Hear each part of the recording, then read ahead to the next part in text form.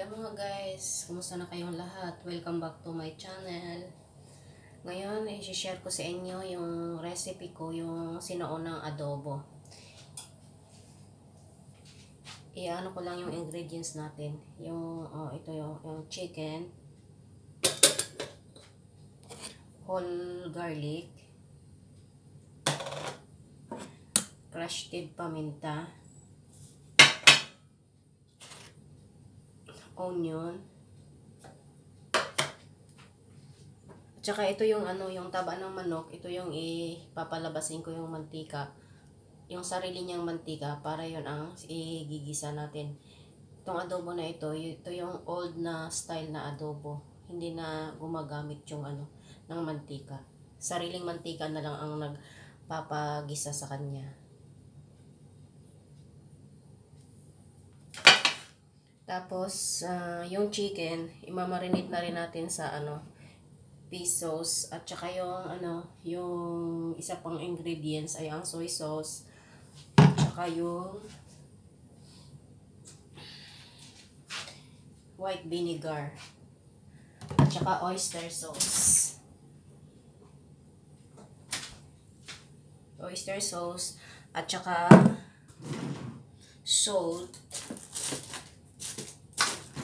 at ang yung ano, yung powder atchweti. May atchweti ito yung adobo natin mga guys. Pagpapainit lang tayo ng apoy. Apoy. Painit lang natin yung ano, yung ating gagamiting prime pan para sa pagpapalabas ng sariling mantik oil ng chicken. At saka yung ano, vine leaves at saka brown sugar.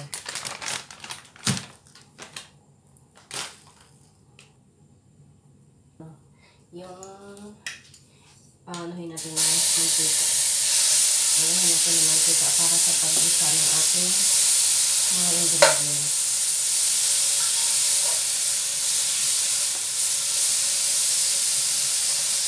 Ito yung recipe ng nanay ko, na anak ko, itong adobo. Ganito ang style ng nanay ko pag nagluluto siya ng adobo. Hindi na siya gumagamit ng mantika. Namanak ko ito sa nanay ko.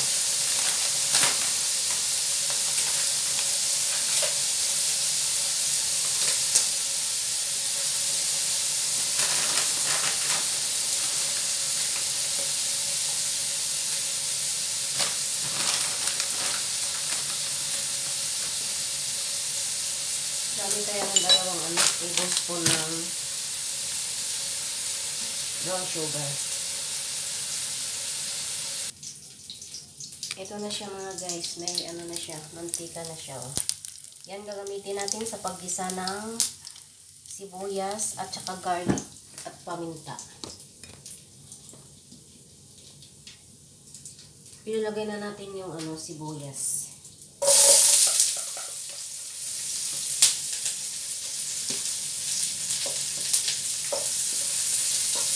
Igisa na natin ang sibuyas.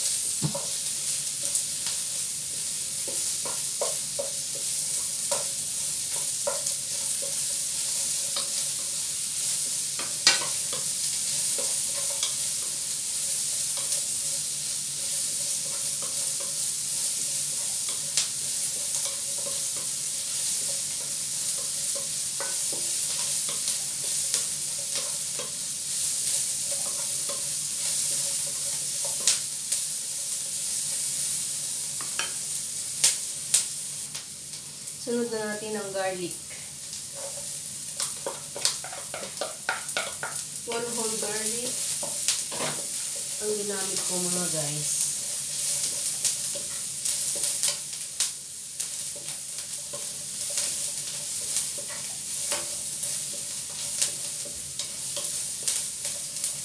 Kaya lang natin mag-golden brown yung ano, yung bawang at saka sibuyas.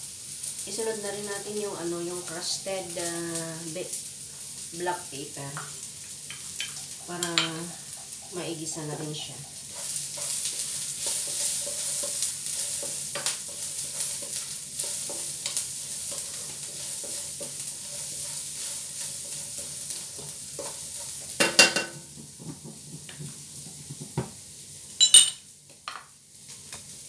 Itong chicken ko, minarinate ko na ng ano, fish, soy, fish sauce. Ilalagay na natin.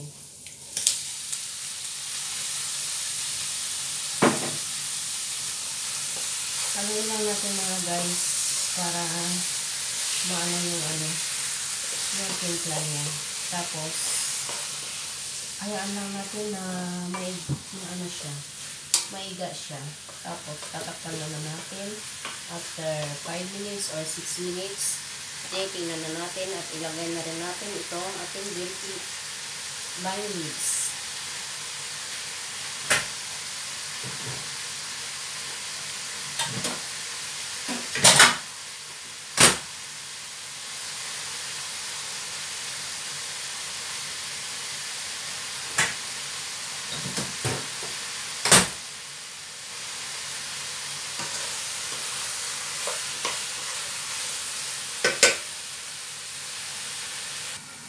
Sure lang natin. At ano, naigisa na ang bawat ano, parte ng chicken. Bawat parte ng hiwa.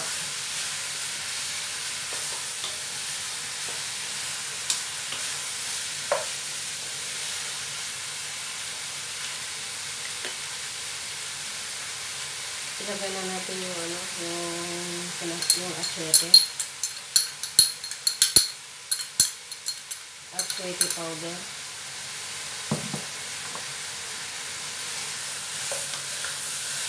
Lang natin na ano, halo-haloin muna natin para yung kulay niya may sa lahat ng ano, hiwa-hiwa ng chicken.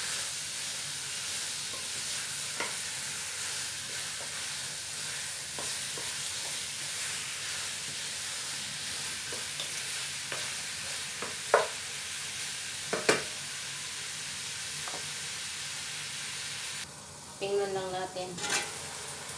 Yan na. Hindi pa siya nag-isa ng ano. Yan. Haluin lang natin mga guys. Para yung bawat out, outer part ng chicken mai-ano, maigisa. Part ang lahat ng ano, part ng chicken. Tapos natin ulit.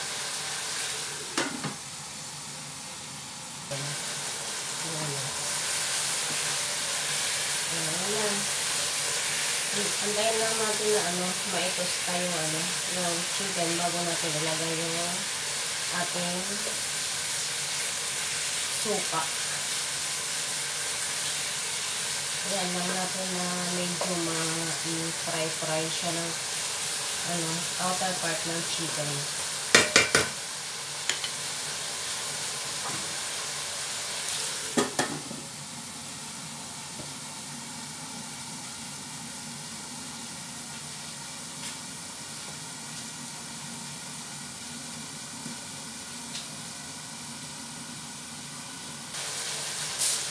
Tama na itong ano dito pa tiga. Tapos ilagay na natin yung ating white vinegar.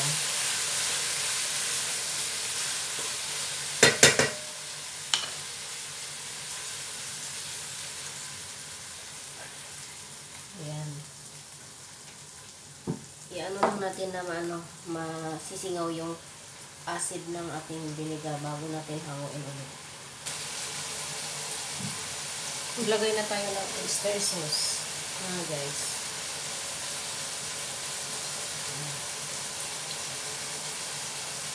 Oyster sauce. Hawain lang natin.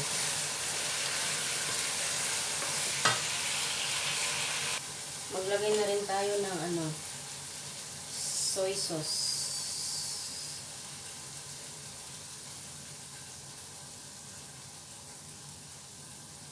Isa at kalahating ano, tablespoon ng ano, soy sauce ang ating gagamitin.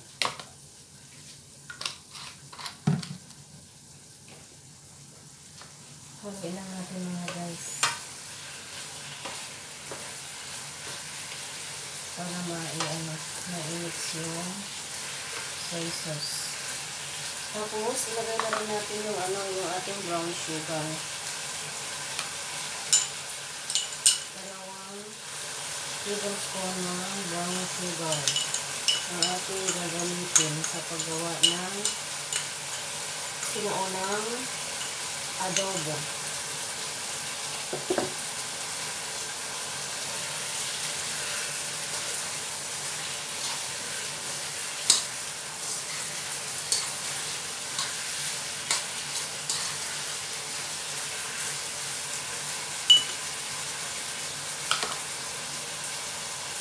Maglagay lang tayo ng ano, tubig na dagdag, mga isa, mga kalahating cup pala ng ano,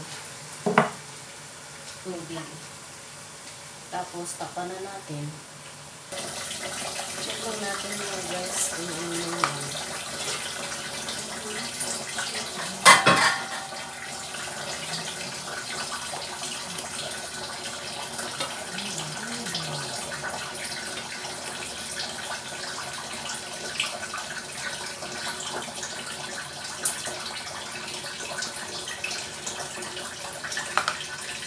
Tikman lang natin yung ano. Magkakong eksakto na siya.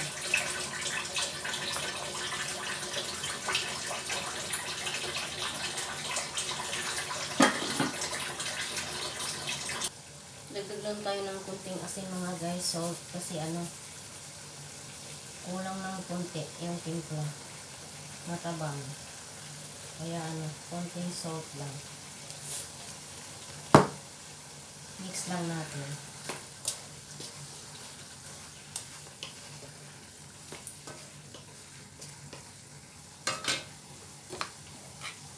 Mana natin mga guys, yung ano, yung timpla ng ating adobo. Ah, tama na siya mga guys.